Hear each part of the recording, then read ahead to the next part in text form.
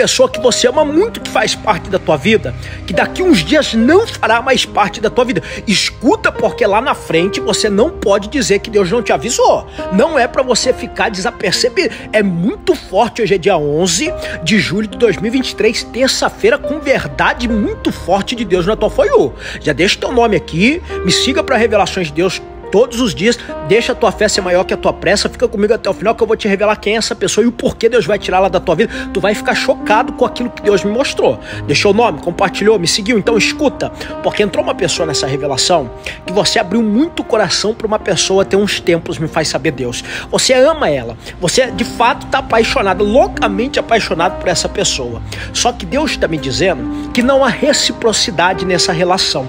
Me revela Deus que não há parceria, não há verdade da parte dessa outra pessoa com você. Não, você é uma pessoa que de fato se entregou. Você é uma pessoa que de fato fez de alma e de coração. Você é uma pessoa que se dedicou, foi verdadeira, foi autêntica, lutou por lutou de todas as maneiras por essa relação. Só que escuta, porque Deus está dizendo para mim que esse rapaz não tinha boas intenções com você. Deus está revelando para mim que esse rapaz não tinha bons pensamentos ao teu respeito.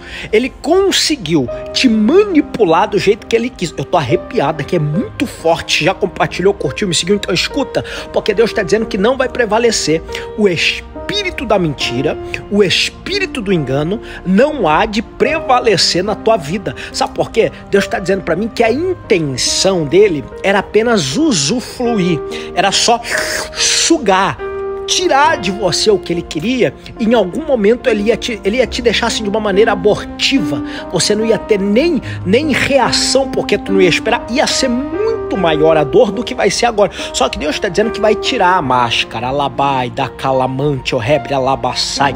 O Senhor vai neutralizar, porque Deus está dizendo para mim que Ele está te blindando. Vai ser complicado, vai ser difícil de entender, vai ser difícil de compreender, vai. Mas Deus está dizendo que já vai começar a te dar sinais. Nos próximos dias, essa pessoa vai agir, vai tomar uma atitude com você que vai te machucar.